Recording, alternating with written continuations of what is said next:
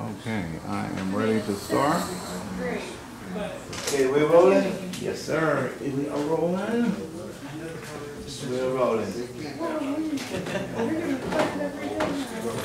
All right, good evening, everyone. I'm Logan Mitchell. I'm filling in because we had two performers that had other commitments. Well, one got sick and the other one had another commitment. So I was not planning on performing tonight, but I wanted to keep everything the same on the schedule. Thanks to everyone for showing up, performer and audience-wise. Thanks to the Electric Maid for hosting us.